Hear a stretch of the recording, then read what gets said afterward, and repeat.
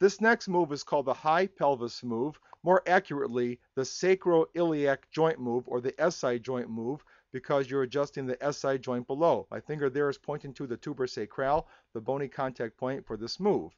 Now, the SI joint, as a side note, fuses by the time the horse is 10 years old, so this move is good up until then.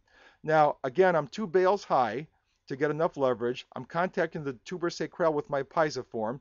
I'm on the left side, but I'm contacting the right tuber sacral. My assistant is extending the leg backward, the hind leg backward to open up the SI joint, and then I'm thrusting a little bit towards the front, just like that, which is the angle of the SI joint.